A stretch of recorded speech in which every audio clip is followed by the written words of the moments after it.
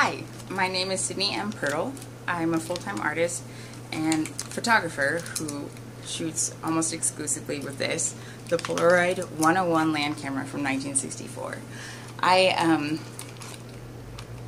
I found out a few days ago that my camera's about to be rendered completely useless uh, as Fujifilm has decided to discontinue the manufacturing of the FP100C pack film that this camera takes.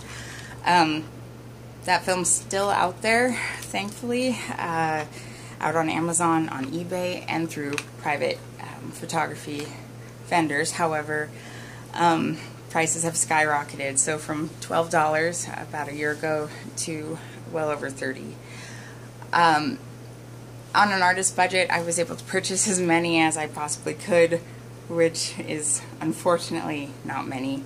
Um, and I'm, I'm hoping that with your help, I might be able to prolong the death of this camera just a little longer.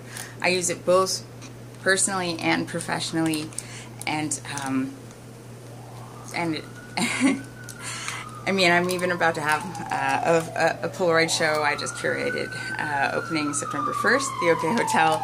Uh, this camera means the world to me, and any help would be very, very much appreciated.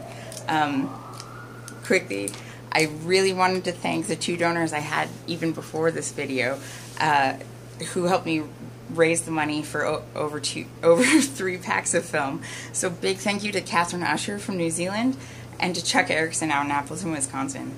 I, I really appreciate this more than I can say, and um, thank you so much. Now, the countdown on the amount of photos left has been raised to from 8 to 38 and um, I, I just really, really appreciate that.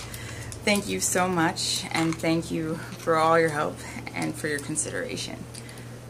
More videos later on how this thing works, um, how prints are pulled, and anything else you want to know. Um, thank you very much. Bye.